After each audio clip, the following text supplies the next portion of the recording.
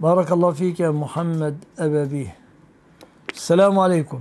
لك بمثل الشيخ مصطفى. عليكم السلام الشيخ مصطفى اتفضل يا حبيبي.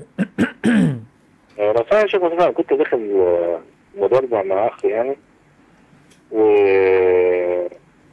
ساعتها يعني اديته الفلوس آه، من ثلاث سنين قلت له شغلها لي خلاص يعني أنا عارف إن هو بيوزع من الارباح بس اتكسفت أقول له أنت بتوزع كام يعني؟ نسبه الربح بتعمل كام يعني؟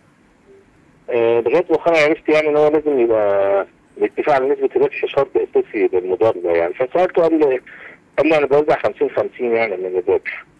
ها؟ معنى ذلك بقى إن اللي فات ده كان يبقى عقد المضاربه فاسد ولا يا حبيبي هو رجل أمين؟ هو أمين آه. وأنت أعطيته المال على سبيل الاتجار فيه وإعطائك نسبة من الربح؟ آه بس ما اتفقناش. أيوة ما اتفقتوش. ترجع للنظام العام للعرف السائد في نفس المهنة. يعني الفلوس دي حلال يعني شيخ مصطفى؟ أنا أقول لك إذا كان يعمل في تجارة حلال وأنت أيوه أيوه تعاقدت معه على أن لك نسبة من الربح خلاص الفلوس حلال هنحرمها لماذا؟ آه فاهم يعني قريت إن هو لازم خلاص يا آه، حبيبي السلام عليكم